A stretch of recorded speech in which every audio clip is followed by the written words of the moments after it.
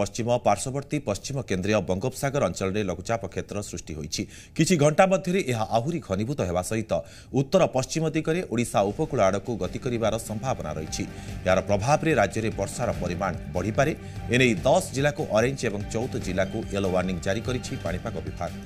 सहित एकै तारिख राज्य राज्यले अति प्रबल वर्षा जनाप प्रबल वर्षा जिल्लाको अरेजि जिल्लाको ये वार्णिङ जारी